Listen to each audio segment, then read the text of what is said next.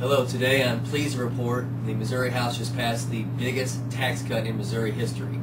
Uh, I gave an impassioned speech on the House floor. It's a good day for Missouri taxpayers. Basically what we did is with the stimulus dollars that are coming to the state of Missouri, we believe those dollars best belong in taxpayer pockets rather than in government pockets.